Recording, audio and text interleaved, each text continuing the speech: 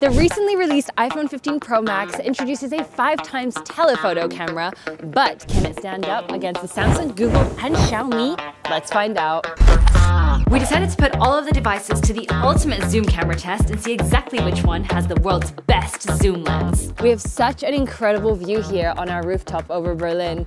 Let's zoom in now and take a photo of the famous TV tower. At 5 times zoom, there are hardly any notable differences. Only the Pixel exhibits minor focus issues, as you can see. When zoomed in at 10 times, distinct color variations become apparent, particularly in the Xiaomi, which appears considerably darker than the others. Otherwise, the overall image quality is satisfactory for all.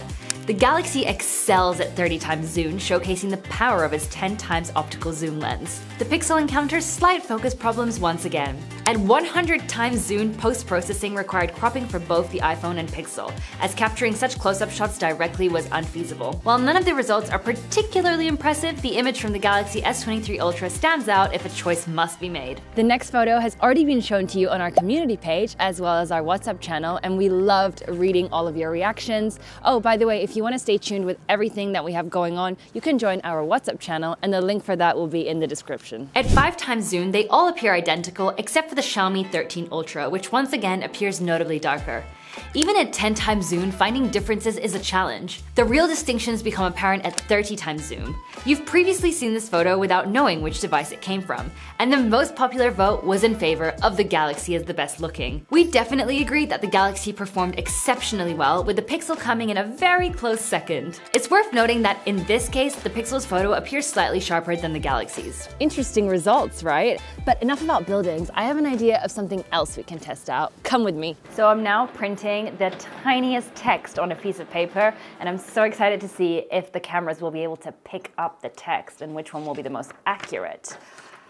Oh, it's pretty small. Let's see if any of them will manage. I personally feel that the 5 times zoom is still insufficient, but starting from 10 times zoom, individuals with a very good eyesight can already begin to recognize what is written. Interestingly, the iPhone photo appears quite noisy at this level. However, with 30 times zoom, clarity is restored. Yet something just seems amiss. But first things first, if you enjoyed this video, kindly give it a thumbs up and subscribe to our channel. Now returning to the photo, closely examine the Galaxy's image.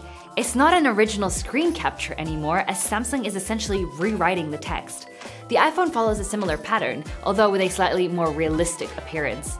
This becomes even more evident at 100 times zoom. I have mixed feelings about this, to be honest. On one hand, it's intriguing when you zoom in to explore details, but on the other hand, it deviates from the essence of a photograph. Personally, I prefer the Pixels photo the most because it allows for clear reading without artificial alterations. Before we see how each phone performs at night, let's see how the video function is of each camera. Can you see me? Emmanuel, over here. You have to zoom in so that you can see me. To maintain fairness, we only use the optical zoom levels for these comparisons.